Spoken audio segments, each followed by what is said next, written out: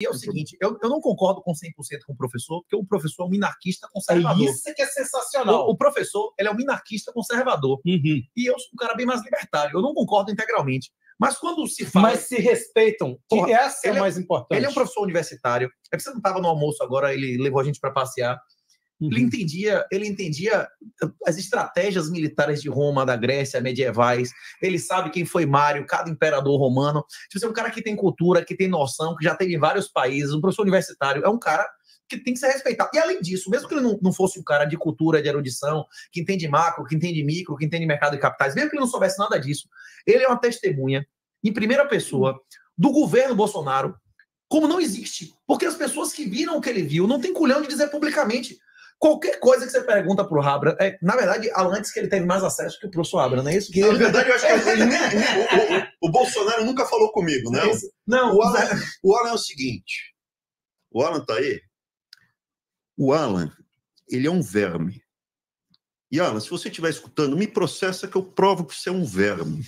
Ao final da reunião, que você foi grosseiro, bárbaro, o, o, o nosso amigo 38 foi lá apertar sua mão.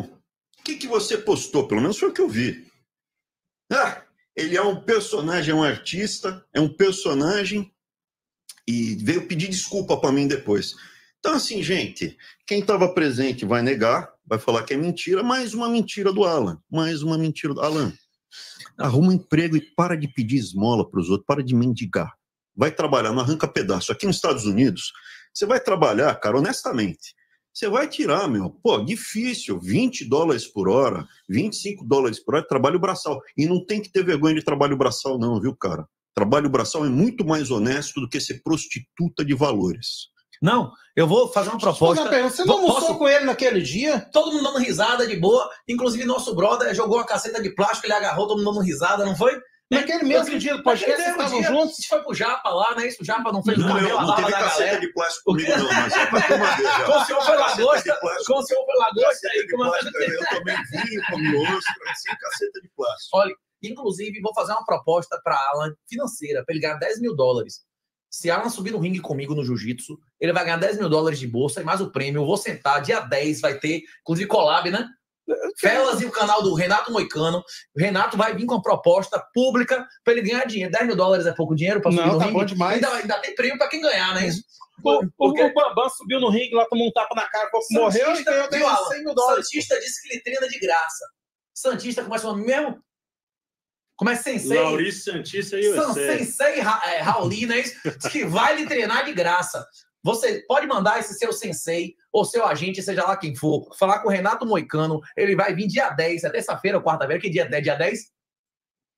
Que dia Não vai 10? rolar, não. Uma de rolar. proposta pra você ganhar 10 mil dólares pra subir no ringue comigo, mas jiu-jitsu. Nem se preocupe, não vai ter soco, chute. Vou tô fazendo isso pra lhe ajudar. Eu vim aqui pra lhe ajudar, né? Isso vou dar mais uma chance pra você ganhar Mas, dinheiro. mas você né? vai pagar em Bitcoin ou em dinheiro? Não, quem paga é Renato. Inclusive, eu quero receber. Eu tô subindo no ringue de graça, meu irmão. Eu quero receber, não é isso não. Ah, não sei. Qual foi a minha mensagem da outra vez? Era Mami? Aham. E, e falar em Mami, posso fazer jabá e minhas porra aqui? Você deixa? É lógico, Ó. Inclusive, você eu já dei o livro, né? Vim dar o meu livro de presente. Você me deu o volume 1 e o 2, Isso, né? Aqui, ó. Aqui, ó. Vim fazer propaganda do livro. Se você quiser te- estar no lançamento desse livro, em São Paulo, dia 15 de setembro, estarei lá. Inscrições arroba Bitcoinada. Dia 1 de dezembro, estarei em Brasília. Em Brasília já vendeu 50, tá bombando. Os caras são magnata dele, é fantasia lá. Quem organiza em São Paulo é Tarcísio, arroba Bitcoinada. Quem organiza em Brasília é Nick. Bota lá Bitcoin Brasília 2024. Tem um lançamento do nosso livro. Não quer gastar um centavo? Não gaste. Tem PDF de graça, tem ditado de graça no YouTube. Tudo que eu tenho para lhe dar de informação, eu te dou de graça. Só cobro por tempo. Agora, se você quiser pagar pelo tempo, você chega lá na Hotmart, tem o curso Bitcoin Black Pill. Você bota lá minhahonra.net, tem lá o batismo Bitcoin. Você gastando menos de 400 conto, um desconto violento você pagar em Bitcoin, velho. Aqui, ó.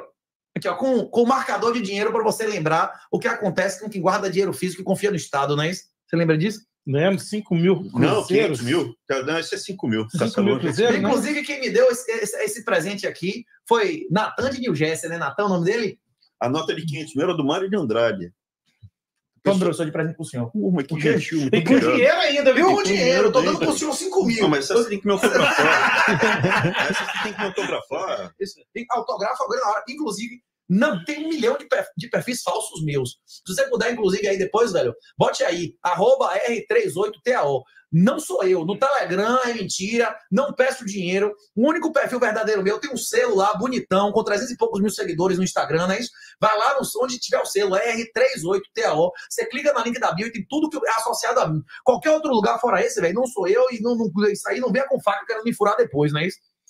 É isso aí. Vamos, vamos, vamos para o assunto, então, que tá todo mundo esperando aqui. disposição. O senhor, o senhor foi um dos primeiros a entrar ali no grupo do Bolsonaro, mesmo antes dele ser presidente, é isso mesmo? Sim, a gente Mesmo antes de ter ideia de ser presidente? Não, ele já tinha campanha, só que Uhum. ele tinha acho que 2%, 3% de, de intenção de voto. Ele estava no residual. Uhum.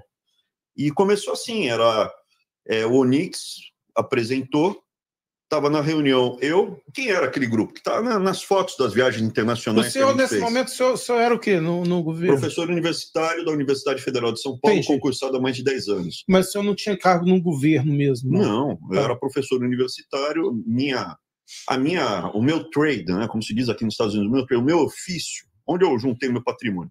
Eu vim do mercado financeiro, iniciativa privada, é daí que eu tenho meu patrimônio.